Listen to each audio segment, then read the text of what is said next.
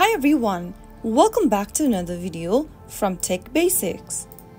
In this video, I'm going to be guiding you through how to clear Lyft cache using your iPhone.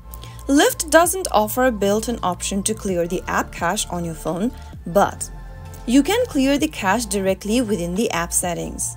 So in order to do that, first of all launch open the settings app from your iPhone. From the settings menu, scroll down and tap on general. Now click on iPhone storage option.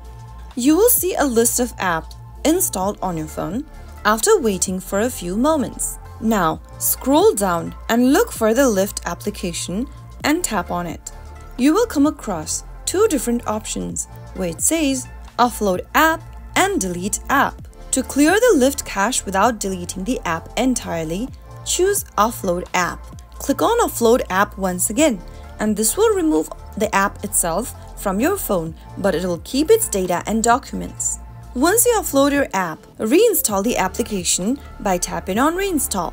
Once you offload your app, tap on the Reinstall App button and reinstall the application on your device. This will now bring back the app without the cache. So that is how you will be able to clear the Lyft app cache effectively on your iPhone. If you found the video to be helpful, go ahead and give us a thumbs up. Don't forget to subscribe to our channel by hitting the subscribe button.